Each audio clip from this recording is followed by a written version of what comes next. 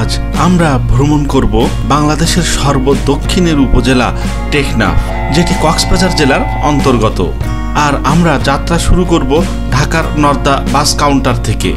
ঢাকা থেকে টেকনাফের কম বেশি দূরত্ব চারশো ষাট কিলোমিটারের মতো। আর আমরা এই পথ পাড়ি দেব শ্যামলী পরিবহনের একটি নন এসি বাসে। এ যাত্রাপথে আমরা দেখব পাহাড়, সমুদ্র উঁচু নিচু বিভিন্ন জায়গা। আর সাথে অবশ্যই দেখব রাস্তার ধারে বসবাসকৃত রোহিঙ্গা ও রোহিঙ্গাদের জীবনচিত্র। যেটুকু আমাদের সামনে পড়ে, সেটুকু দেখার চেষ্টা করব। সাথে অবশ্যই দেখব নাফ নদী ও মায়ানমারের সীমান্ত। এসব দেখতে দেখতে আমরা পৌঁছে যাব টেকনাফ। তো চলুন, আজকে দেরি না করে আমরা শুরু করি ঢাকা থেকে টেকনাফ পর্যন্ত এ যাত্রাপথ এবং উপভোগ করি ঢাকা থেকে টেকনাফ পর্যন্ত এ যাত্রাপথের দুপাশের সৌন্দর্য।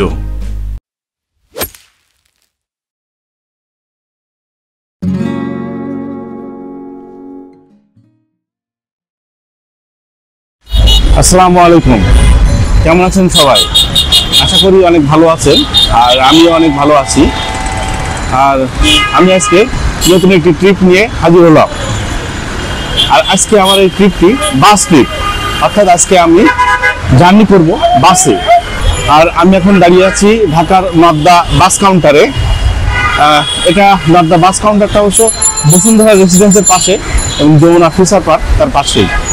আর আমি আজকে এই নদ্দা বাস কাউন্টার থেকে যাব টেকনাফ পর্যন্ত। কক্সবাজার জেলার সর্বশেষ উপজেলা যেটা, সেই টেকনাফ। আসলে এখানে দাঁড়িয়ে কথা বলা যাচ্ছে না।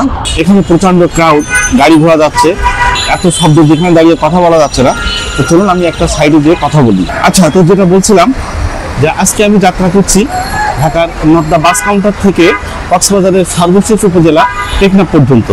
আর আজকে আমার সফর সঙ্গী শ্যামলী পরিবহনের একটি নন এসি গাড়ি, যেটি ঢাকা থেকে ছেড়ে যাবে সন্ধ্যা সাতটা বিশ মিনিটে এবং টেকনাফে যেয়ে তার পৌঁছানোর কথা পরদিন সকাল সাতটার দিকে। ওভারঅল তার সময় লাগবে সাড়ে এগারো থেকে বারো ঘণ্টার মতো। তবে বিষয়টি সম্পূর্ণ নির্ভর করবে রাস্তার যানজটের উপরে। আজকে কিন্তু প্রচণ্ড জ্যাম ঢাকাতে। পরপর দুই দিন ছুটি পড়েছে শুক্র শনি, অর্থাৎ পনেরোই ডিসেম্বর এবং ষোলোই ডিসেম্বর। পর্যাপ্ত পরিমাণ লোকজন ঢাকার বাইরে চলে যাচ্ছে। আমার ধারণা ঢাকা থেকে প্রায় অর্ধেকের বেশি লোক আজ ঢাকার বাইরে চলে যাচ্ছে, যার কারণে প্রচণ্ড জ্যাম। সেই সাথে কোনো গাড়িতে কোনো সিট নেই। আমি তো প্রায় দশ দিন আগে টিকিট কেটে রাখছি। এখনও এসে প্রচুর পরিমাণ মানুষ টিকিটের জন্য ঘুরে বেড়াচ্ছে কিন্তু টিকিট পাচ্ছে না, গাড়ি নেই গাড়ির সংকট মানুষ বেশি। যাই হোক, আমাদের গাড়িটি এখনও নদ্দাতে এসে পৌঁছায়নি। গাড়িটি আসবে আবদুল্লাপুর থেকে। আবদুল্লাপুর থেকে ছাড়ার কথা সাড়ে ছয়টার সময়। এখন অবশ্য বাজে ছয়টা, এখন অনেক সময় আছে। তো এই থেকে একটু ঘোরাঘুরি করি এদিকে। বাস আসলে আপনাদেরকে দেখিয়ে দেওয়ার চেষ্টা করব। তো চলুন, আপনারাও আজকে আমার সঙ্গে ভ্রমণ করুন ঢাকা থেকে টেকনাফ পর্যন্ত। আর উপভোগ করুন ঢাকা থেকে টেকনাফ পর্যন্ত এই রাস্তার দুপাশের সৌন্দর্য। আচ্ছা আরেকটা বিষয় বলে রাখি, ঢাকা থেকে টেকনাফের দূরত্ব কম বেশি চারশো ষাট কিলোমিটারের মতো, আর আমাদের সময় লাগবে এগারো থেকে সাড়ে এগারো ঘণ্টার মতো। সেটা নির্ভর করবে রাস্তার যানজটের উপরে। ওই মোটামুটি ধরা যায় যে এগারো থেকে সাড়ে এগারো ঘণ্টার মধ্যে আমরা টেকনাফে যেয়ে পৌঁছাবো। তবে আজকের এই পরিশ্রম এবং আজকের এই প্রচেষ্টা যদি আপনাদের ভালো লেগে থাকে, অবশ্যই আমার চ্যানেলটি সাবস্ক্রাইব করবেন লাইক কমেন্টস এবং শেয়ার করবেন। তো চলুন, আমরা যাত্রা করতে থাকি। আর উপভোগ করুন ঢাকা থেকে টেকনাফ পর্যন্ত এই রাস্তার দুপাশের সৌন্দর্য। অবশেষে আমাদের ট্যুরমেট এলেন ঠিক সাতটা পঁচিশ মিনিটে। দেখে নিন এক ঝলক তার ফ্রন্ট ডেক কিন্তু এ ভ্রমণ সুখের হলো না। পরপর দুই দিন ছুটি থাকায় ঢাকার চার ভাগের তিন ভাগ মানুষ যাচ্ছে ঢাকার বাইরে। যেমন ঠিক আমি যাচ্ছি। আর এ কারণেই ঢাকার রাস্তায় তীব্র যানজট। গাড়ি যেন আর নড়তে চায় না। আমরা যেন ক্লান্ত আর অতিষ্ঠ। কতটা জ্যাম তা একবার দেখুন।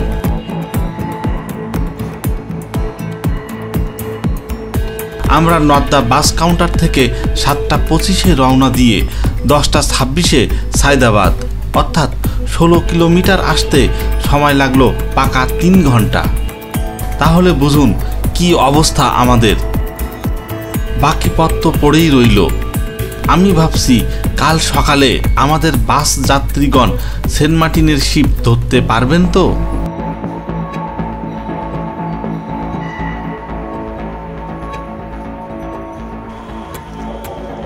এই সাইদাবাদ কাউন্টার থেকে সবচাইতে বেশি প্যাসেঞ্জার বোর্ডিং করলেন গাড়ি একেবারে ফুলফিল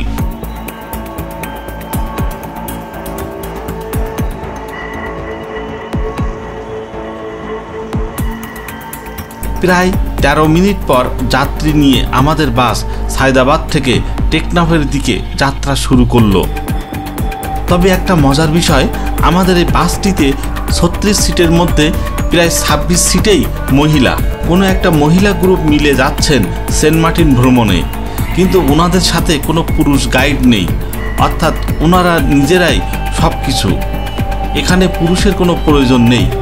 ভাবা যায়, এত দূরের পথ, আমরা ছেলেরা যেতেই ভয় পাই, আর ওনারা মহিলা হয়ে নির্ভয়ে যাচ্ছেন। যাক, ওনারা সুষ্ঠু সুন্দরভাবে ওনাদের ভ্রমণ শেষ করতে পারেন, সেই দোয়া করি।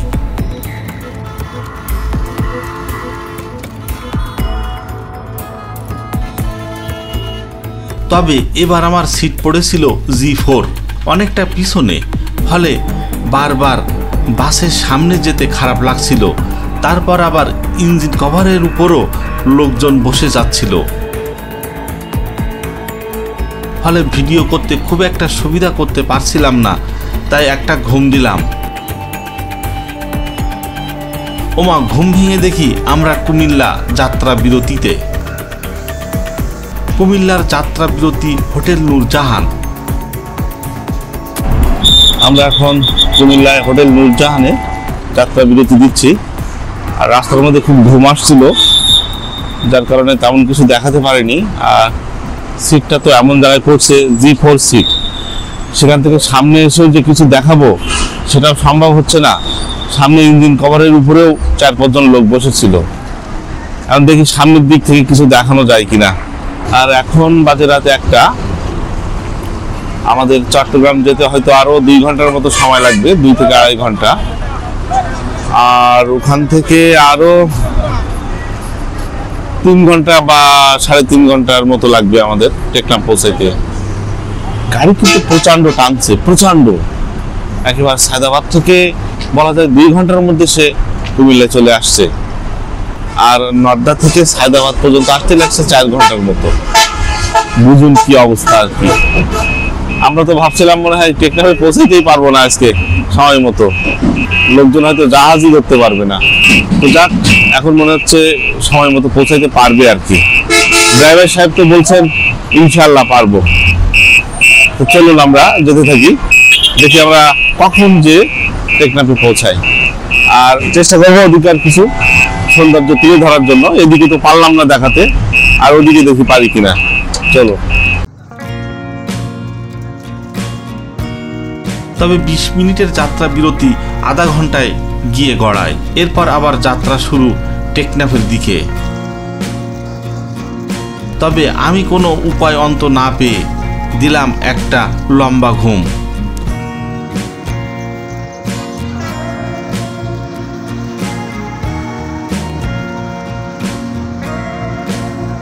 ঘুম থেকে উঠে দেখি আমাদের বাস চট্টগ্রাম কর্ণফুলি পার হয়ে কক্সবাজার থেকে টেকনাফের পথ ধরেছে।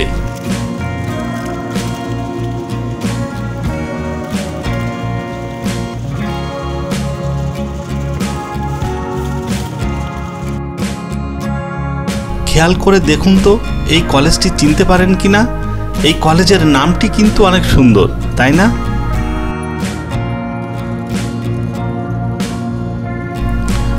কিন্তু তীব্র গতিতে ছুটে চলেছে টেকনাফের দিকে।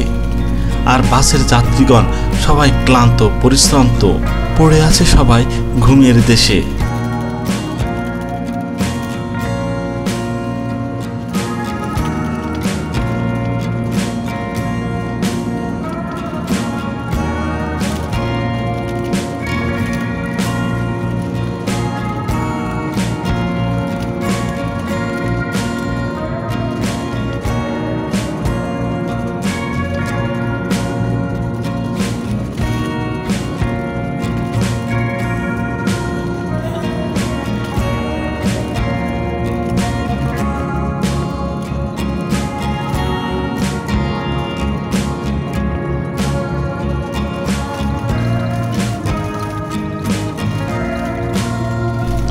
কুয়াশা মাখা শীতের সকাল। দূর পাহাড়কে কুয়াশায় গ্রাস করেছে। তা দেখেই বোঝা যায় শীতের প্রকাপ কেমন।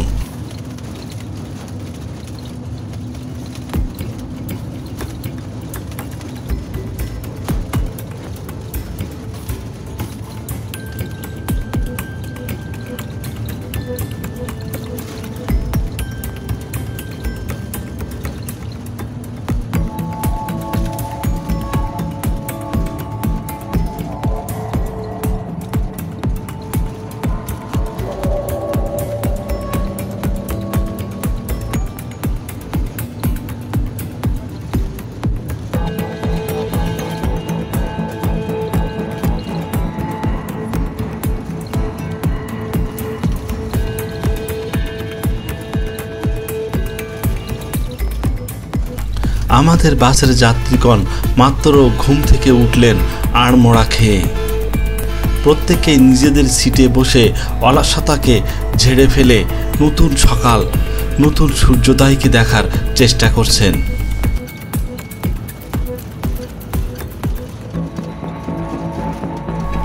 এটি পান বাজার। ট্র্যাক কি ট্র্যাক, পান এখান থেকে লোড হয়ে চলে যায় দেশের প্রত্যন্ত অঞ্চলে।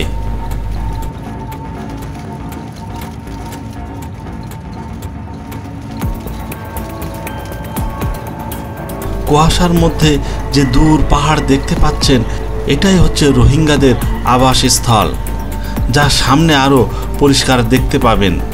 এটি হচ্ছে উখিয়া সীমান্ত, রোহিঙ্গাদের অভয় স্থান।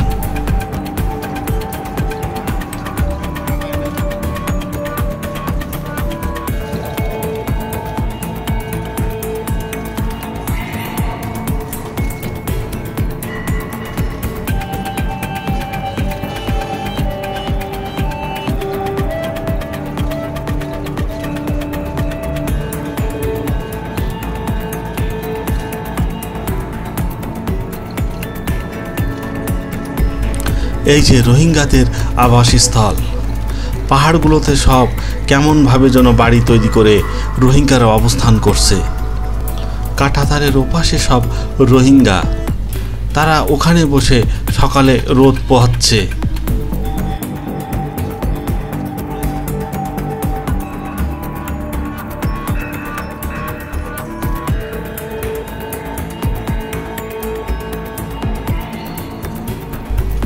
এ ধরনের তেত্রিশটা ক্যাম্পে মোট বারো লাখের মতো রোহিঙ্গা বসবাস করছে এই কক্সবাজার সীমান্তে।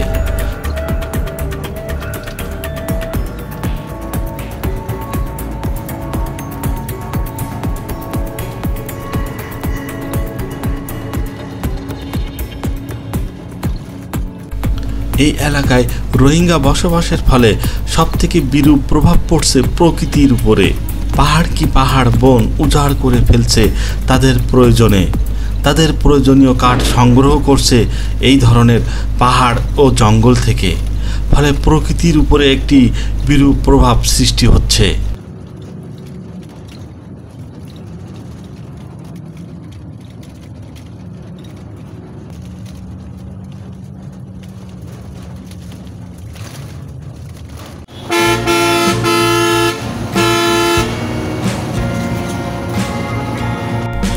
দেখতে দেখতে আমরা পৌঁছে গেলাম টেকনাফের জাহাজ ঘাটে। এই জাহাজ ঘাটটি মূলত টেকনাফ শহর থেকে প্রায় দশ কিলোমিটার দূরে, আর এখান থেকেই সেন্ট মার্টিনের জাহাজগুলো ছেড়ে থাকে। সাধারণত টেকনাফগামী বাসগুলোতে অধিকাংশ যাত্রী এই টেকনাফের জেটি ঘাটে নেমে যায়।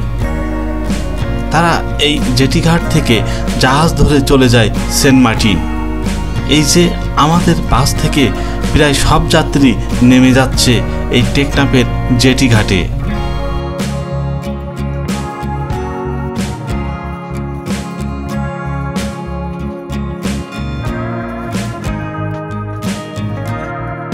টেকনাফ জেটি ঘাটে যাত্রী নামিয়ে দিয়ে আমাদের বাস আবার চলা শুরু করল টেকনাফ শহরের দিকে।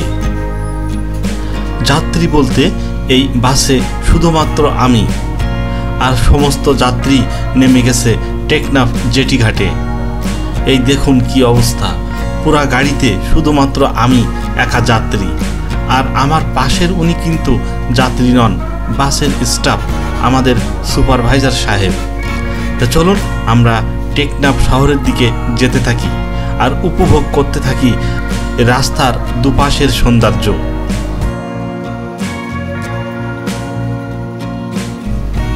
বর্তমানে টেকনাফের রাস্তা ভয়াবহ খারাপ।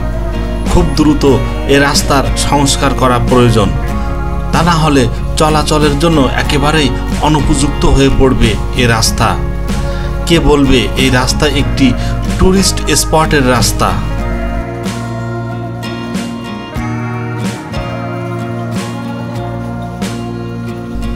পাশ দিয়ে বয়ে যাওয়া ওই নদীটা কিন্তু নাফ নদী।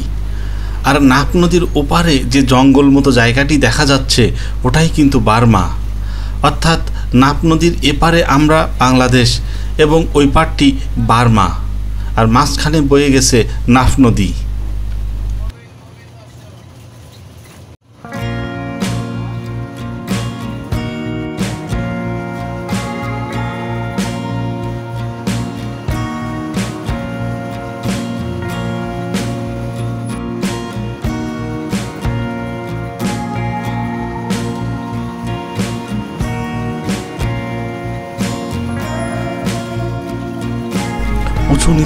পাহাড়ের গা বেয়ে আমরা এগিয়ে যাচ্ছি টেকনাফ শহরের দিকে। আর আমাদের বাম সাইডে আছে নাফ নদী, যেটি সামনে বঙ্গোপসাগরে যে মিলিত হয়েছে। এই বাঘ থেকেই মূলত নাফ নদী এবং বঙ্গোপসাগরের মিলিত স্থানটি দেখা যাচ্ছে।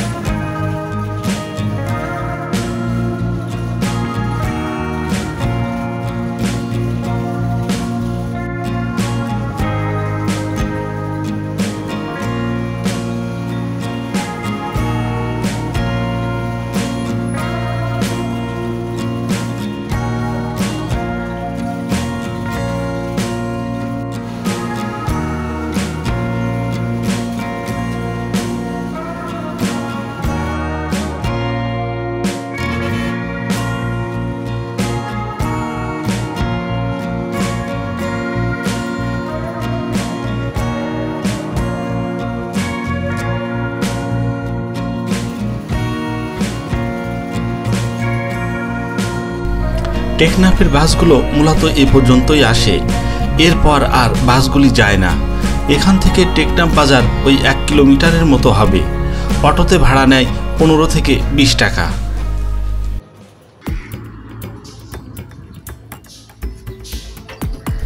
শ্যামলী পরিবহনের এই বাসটি মূলত সাদা এবং কমলা রঙের কম্বিনেশনে তৈরি করা। আর এটি হিনো একের মডেল। যার ফ্রন্ট এবং ব্যাক ডেক দুইটাই অসাধারণ।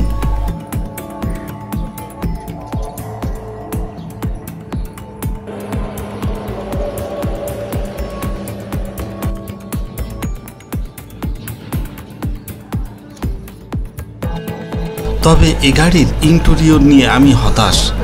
অনেক পুরাতন গাড়ি হওয়ার কারণে এর সিটগুলো একেবারে যাচ্ছে তাই অবস্থা। এই সিটগুলি দ্রুত গতিতে পরিবর্তন করা প্রয়োজন। তবে এই বাসটি ছত্রিশ সিটের হওয়ায় একটি সিট থেকে আরেকটি সিটের দূরত্ব, অর্থাৎ লেগ স্পেসটা অনেক বেশি ছিল। তাছাড়া বাসের মধ্যে ওভারহেড বাংকার ছিল এবং যথেষ্ট পরিমাণ ফ্যান ও লাইটের ব্যবস্থাও ছিল। সব মিলে মোটামুটি ভালো বলা যায় বাসটিকে। খুব বেশি ভালো না বললেও মোটামুটি চলার মতো বাসটি। অবশেষে তেরো ঘণ্টা পঁচিশ মিনিটের যাত্রা শেষে চারশো ষাট কিলোমিটার পথ পাড়ি দিয়ে ঢাকা থেকে আমরা পৌঁছে গেলাম টেকনাফে। তো আজকে জার্নিটা ভালোই ছিল, ভালো বলতে জ্যাম।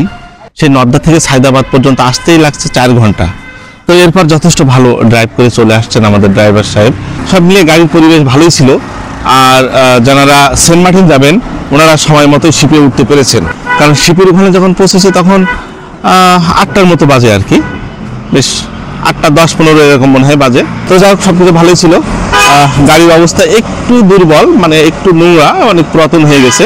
তাছাড়া বাদ বাকি সবই ভালো। বাসের স্টাফগণ অনেক ভালো ব্যবহার করছে, সব মিলে ভালোই বলা যাবে গাড়িটিকে।